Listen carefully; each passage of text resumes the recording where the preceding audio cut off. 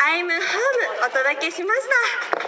た、えー私たち道のくせんで織姫隊は今ここまでステージお届けしてきましたが皆さんいかがでしょうか？楽しんでいただけましたか？ありがとうございます。え先ほどからなんですけどこの会場とってもいい香りがしませんか？皆さん。しますよね。私すごく食べることが大好きでしながらお腹がグーグーなってます、えー私たち織姫隊は、えー先月1月に農林水産省より食べ尽くせ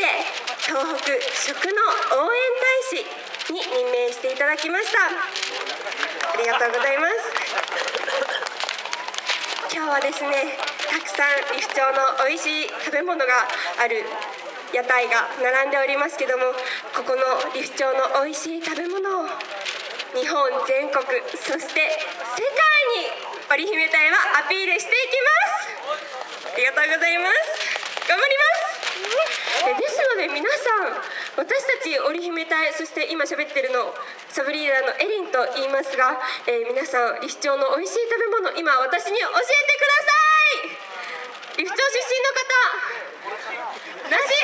あ利府なし私もその季節になったら絶対買って食べますそうですね美味しいですよね美味しいあとは何ですかわかりました牡蠣花子海産物もやっぱり利府町美味しいですよねこの利府町の魅力をたくさん発信していきたいと思います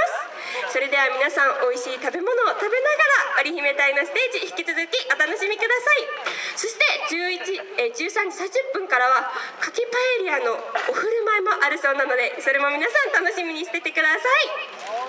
じゃあ皆さん、えー私たちは、えー海外にひ東日本大震災の現金の御礼ステージや、えーと日本にたくさんの海外のお客さんに来ていただけるようインバウンドとしてあお呼びかけしてきました、そして皆さん、2020年には東京オリンピック・パラリンピックが開催されますよねイエーイその時に、えー日本そして東北被災地そして何よりも我が利府町に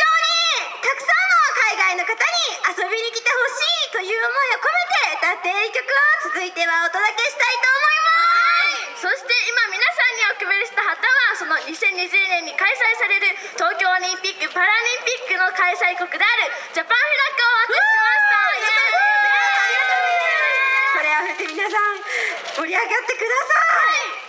ラストの曲なので皆さん一緒に立ち直な